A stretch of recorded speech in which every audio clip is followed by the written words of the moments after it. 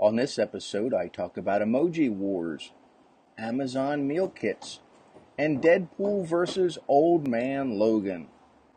Hey, I'm Rob Anspach from Anspach Media, and welcome to episode 63 of What's Trending on Facebook today. Now, before I get into the trends, I'm actually down at the beach, and uh, I wasn't going to film this episode. I was going to wait a few days, but you know, I like to get an episode out every single day because I know that it's important for you guys. So, you're going to get one for me today, tomorrow, the next day, and then just keep on going. So, if you have any questions, make sure you comment. All right, let's get into the trends because it is hot out here. Apple just previewed the new emojis coming to the iPhone and Mac later this year.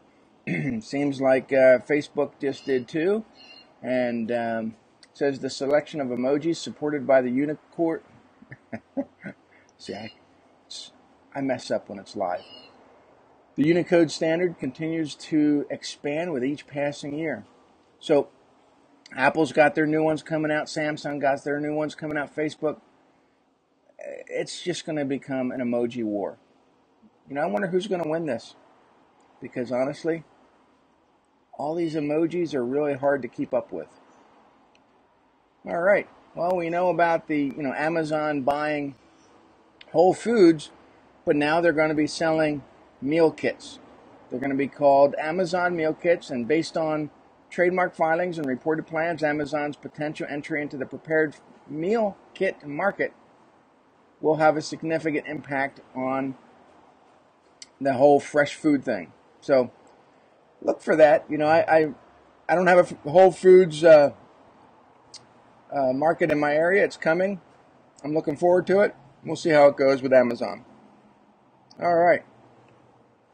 Now this one here for all you comic book fans. Deadpool versus Old Man Logan was announced.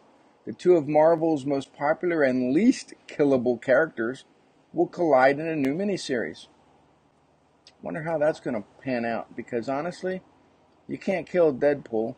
And we just saw in the last movie, spoiler alert if you didn't see it, but uh, Wolverine, which is AKA Old Man Logan, gets killed. So, you know, I'm not sure it's going to be too much of a battle. Anyway, question of the day Where do you like to vacation? What's your favorite beach spot?